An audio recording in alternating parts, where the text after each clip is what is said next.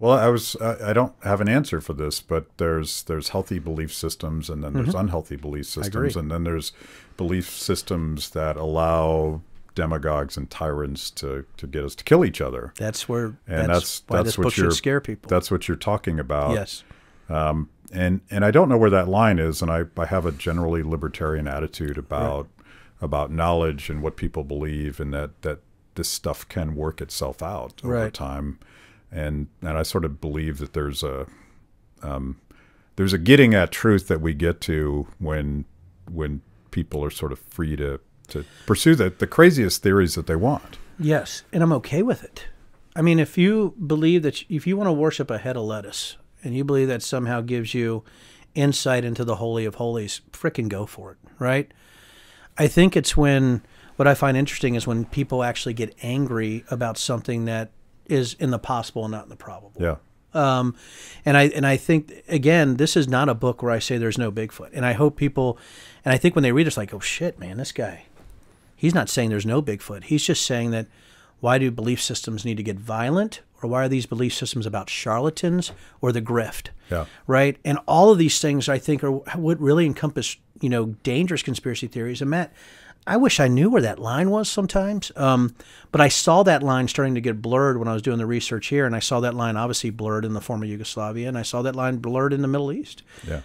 So that's that's a- the issue. I mean, it's a nice metaphor because there's there's sort of uh, Bigfoot tourists who are, are really just having a good time, There's those, yeah. and then there's true believers, and then there's grifters, and it, it seems like a good metaphor for politics, actually. There is, you know, you got true believers, you got grifters, and you know, I talk about the EL in this book, which somebody said Randy, Mc, you know, what is it? Randy McBride should play the expedition leader in this book. But uh, you know, what I'm looking at is that I paid to do this.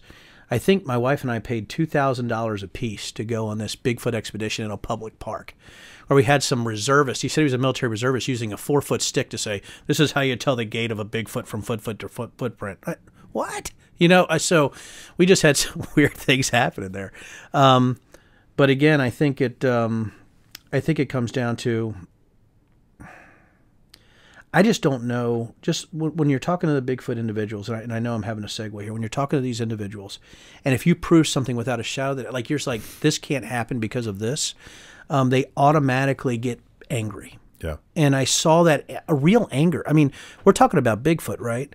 You know, I had one individual tell me, "You got to have faith." You know, no, I don't. Like, no, actually, you're talking about an eight foot tall being that smells like that can actually. By the way, I don't know if you know this.